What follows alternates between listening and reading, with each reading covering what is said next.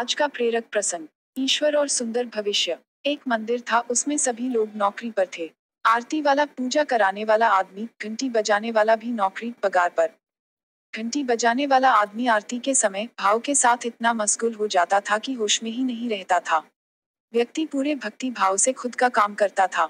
मंदिर में आने वाले सभी व्यक्ति भगवान के साथ साथ घंटी ब, जाने वाले व्यक्ति के भाव के भी दर्शन करते थे। उसकी भी वाह वाह होती थी। एक दिन मंदिर का ट्रस्ट बदल गया और नए ट्रस्टी ने ऐसा आदेश जारी किया कि अपने मंदिर में काम करते सब लोग पढ़े लिखे होना ज़रूरी है। जो पढ़े लिखे नहीं है, उन्हें निकाल दिया जाएगा। उस घंटी बजाने वाले भाई को ट्रस्टी ने कहा कि, तुम्हारी आज तक का पगार ले लो। कल से तुम नौकरी पर मत आना।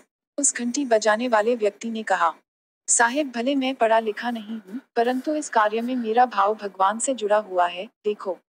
ट्रस्टी ने कहा सुन लो, तुम पढ़े लिखे नहीं हो, इसलिए तुम्हें रखने में नहीं आएगा। दूसरे दिन मंदिर में नए लोगों को रखने में आया। परंतु आरती में आए लोगों को अब पहले जैसा मज़ा नहीं आता था। घंटी बजाने वाले व्यक्ति की सभी को कमी महसूस होती थी। कुछ लोग मिलकर घंटी बजाने वाले व्यक्ति के घर गए और विनती करी, तुम मंदिर आओ। उस भाई ने जवाब दिया, मैं आऊँगा तो ट्रस्टी को लगेगा कि मैं नौकरी लेने के लिए आया है, इसलिए मैं नहीं आ सकता। वहाँ आए हुए लोगों ने एक उपाय बताया कि मंदिर के बराबर सामने आपके लिए एक दुकान खोल के देते हैं। वहाँ आपको बैठना है और आरती के समय घंटी बजाने आ जाना, फिर कोई नहीं कहेगा तुमको नौकरी की ज़रूरत है। उस भाई ने मंदिर के सामने दुकान शुरू की और वो इतनी चली कि एक दुकान से सात दुकान और सात दुकानों से एक फैक्ट्री खोली। अब वो आदमी मनगी गाड़ी से घंटी बजाने आता था। समय बीतता गया। ये बात पुरानी सी हो गई। मंदिर का ट्रस्टी फिर बदल गया। नए ट्रस्ट को नया मंदिर बनाने के लिए दान की ज़रूरत थी। मंदिर के नए टर्म, ट्रस्टी को विचार आया कि सबसे पहले उस फैक्ट्री के मालिक से बात करके देखते हैं। ट्रस्टी मालिक के पास गया।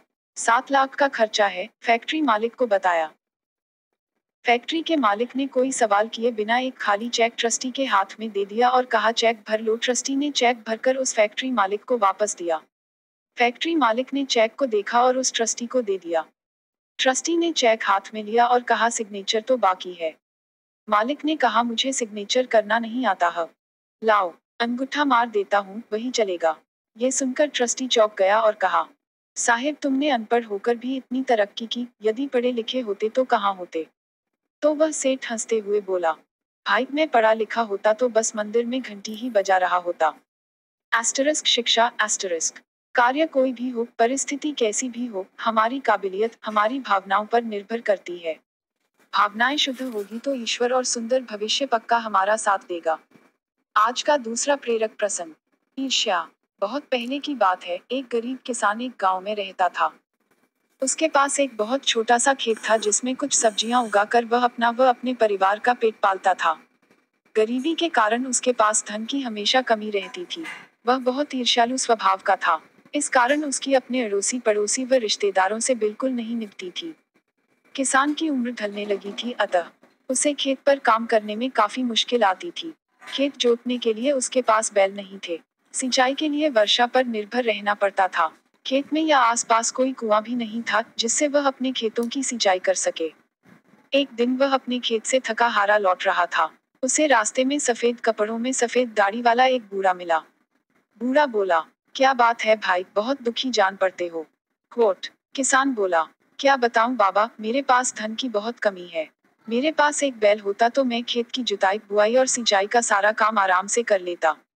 बूढ़ा बोला, अगर तुम्हें एक बैल मिल जाए तो तुम क्या करोगे? कोट कोट तब मेरी खुशी का ठिकाना नहीं रहेगा। मेरी खेती का सारा काम बहुत आसान हो जाएगा, पर बैल मुझे मिलेगा कहाँ से? किसान बोला मैं आज ही तुम्हें एक बैल दिए देता हूँ। यह बैल घर ले जाओ और घर जाकर अपने पड़ोसी को मेरे पास भेज देना।